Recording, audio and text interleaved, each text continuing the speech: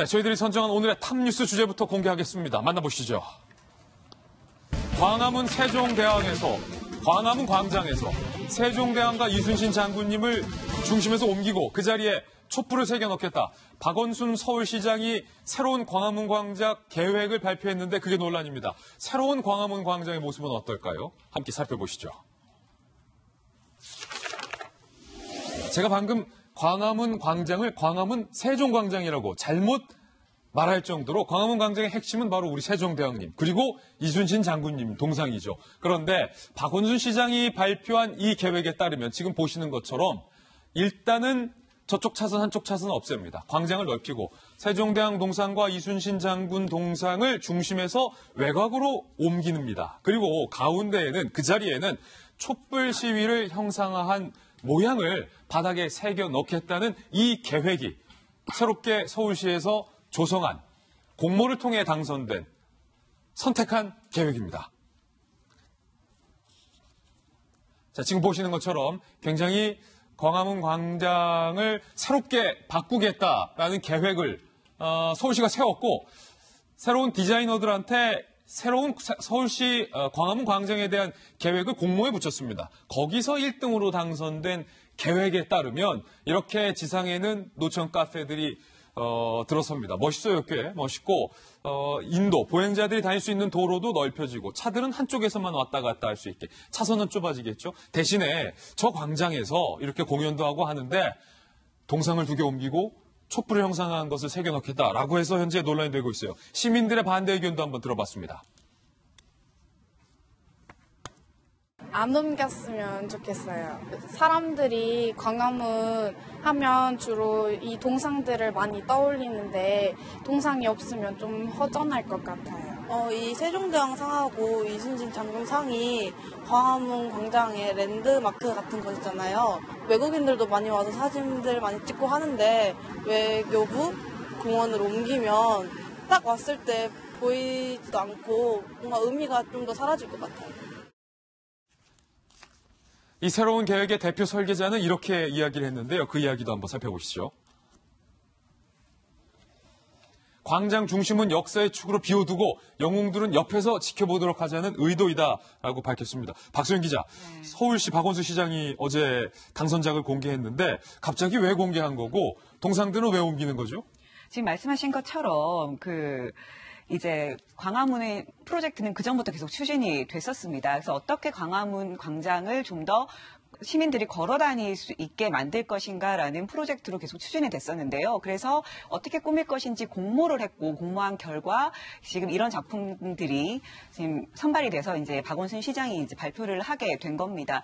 이번에 공모를 통해서 선정된 작품 같은 경우에 선정된 계획 같은 경우에는 아까 보신 것처럼 이순신 장군 상과 세종대왕 상이 옆으로 한쪽으로 빠지게 되는 게 핵심이죠. 그리고 차선이 이제 10차선에서 6차선으로 줄어들고 그래서 시민들이 좀 더 많이 쉽게 걸어 다닐 수 있고 시민 광장으로서의 역할을 할 수 있게 하겠다는 거예요. 예.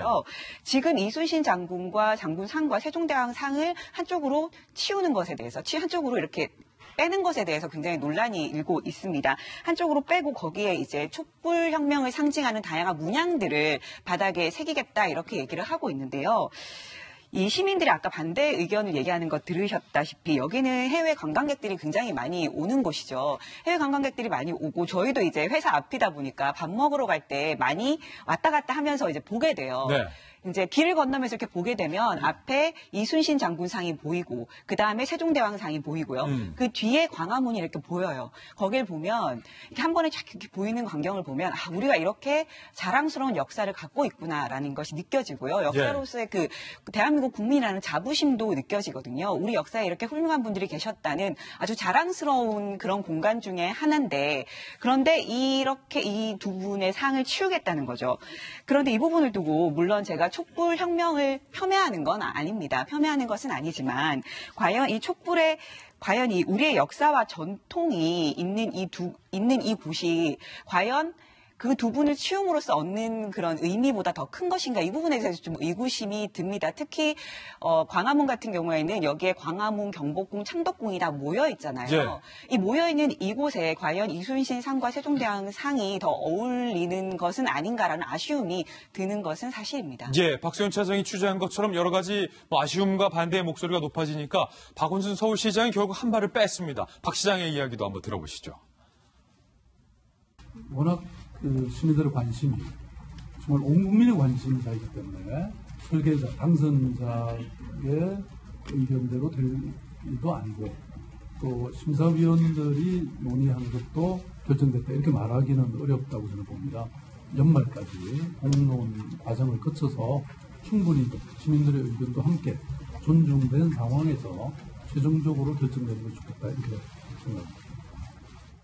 이게 궁금한 게 결국 확정안도 아닌데 박 시장이 발표한 거 아니냐라는 논란도 있는데 뭐 그건 그렇다 치더라도 물론 광화문 광장이 서울시 소유죠. 그런데 서울시장이 결정한 대로 광화문 광장을 바꿀 수가 있는 겁니까? 우리 정부와 뭐 국토부와 국민들의 의견과 이런 여론 수렴을 다 해야 되는 거 아닌가요? 지금 이 광화문 광장에 대한 얘기만 발표한 것이 아니라 안에 지하에 대한 지하 공간에 대한 설계 그리고 GTX에서의 광화문역까지 여러 가지를 동시에 발표를 하게 됩니다. 여기 대해서 당연히 국토교통부와 협의를 어, 최종적으로 논의해야 되는 단계가 있기 때문에 박원순 시장 혼자 발표한다 해서 이 안이 통과되기는 어려운 측면들이 있을 거고요. 교통에 관한 문제도 지금 교통체증에 대한 문제들이 여러 가지 나올 수 있는 상황이라 지금 현재로서는 서울시의 공모전에 당선된 최종안을 발표한 겁니다. 따라서 주민들과 국민들이 바라보게 되는 시선을 바탕으로 여론들을 좀 수렴하겠다라고 생각하는 것 같은데요. 저는 광화문 광장이 정말 시민의 품으로 돌아갔으면 좋겠습니다. 우리 박소영 차장이 얘기한 것처럼 저도 매일같이 광화문 광장에 오게 되니까 예. 늘 지나다니고 주말에는 아이들 손을 잡고 교보문고를 오기도 합니다. 그렇죠. 그렇게 됐을 경우에 저 넓은 광장이 시민의 품으로 돌아가는 것이 아니라 늘 집회와 시위가 끊이지가 않는 공간으로 변질되어 있지는 않는가라는 생각이 개인적으로 들거든요. 차량도 통제되고 저 공간이 오히려 지금보다 더 넓은 광장으로 가게 됐을 경우에 더 많은 시민의 품으로 돌아가는 게 아니라 더 많은 집회 공간, 더 많은 치유의 공간으로 혹시나 애당초의 계획들이 변질되는 것은 예. 아닌가에 대한 우려에 대해서도 좀 고민할 필요가 있는 것 같고요. 지금 세종대왕님 세수하고 계신데 깜짝 놀라시겠어요. 그러니까 두 영웅들은 옆으로 좀 비껴나도록 어, 보면서 시민들을 바라보겠다고 하는데 우리 이 대한민국을 대표하고 진짜 우리 이 한반도 역사를 대표하고 있는 이순신 장군과 세종대왕이 옆에서 바라보고 있는데 계속 매일 시위를 하는 겁니다. 매일같이. 그런 모습들을 바라보게 되는 광경들에 대해서 어떤 생각이 들까 싶고요. 이 모습들이 결국은 관철되는 걸 2021년으로 하겠다는 거예요. 예. 2022년은 대통령 선거가 있는 해고 음. 박원순 서울시장은 대권에 이제 재수를 하게 되는 셈이지 않습니까? 서울역 고가에 우리가 보게 되면 이 고가 이름이 서울로 7017입니다. 70년에 지어진 서울 고가를 2017년에 다시 복원한다 그래서 그 2017년 대통령 선거를 염두에 둔 것 아니야라는 얘기가 나왔는데요. 2017년 5월 달에 첫 삽을 뜨기, 아, 실제로 모든 것들이 발표가 돼서 준공을 완료하고 시민의 품으로 돌리게 되지만 박근혜 대통령 탄핵 때문에 선거가 조금 일찍 치러지게 돼요. 네. 그래서 이러한 부분들 때문에 과거에 많은 이 시민들로부터 성과를 받지 못했던 것을 혹시 이번에 이번 광화문 광장 계획을 통해서 다시 대권 재수에 대한 발판을 삼는 것 아니야라고 하는 일반 대중들의 추측도 있는 만큼 여러모로 깊은 예. 고민들이 필요한 지점으로 보입니다. 아니 물론 이제 두 분의 우려는 우려지만 김영주 의원님 그 계획을 보면 좋은 점들도 많아요. 그러니까 뭐 시청에서부터 광화문 광장까지 4km 정도 되는 게 지하 터널로 쭉 지하 보도로 연결돼 있어 비 오거나 눈이 와도 어, 시민들이 비 맞지 않고 왔다 갔다 할 수 있게 돼 있다는 점이라든지 아니면은 차도를 줄여서 미세먼지 문제도 좀 줄이고 테라스를 설치해서 어, 마치 유럽이나 파리처럼 사람들이 노천에서 좀 뭐 먹고 마시고도 할 수 있게 뭐 좋은 것들도 많이 포함이 돼 있긴 해요. 계획 안에 보니까. 네.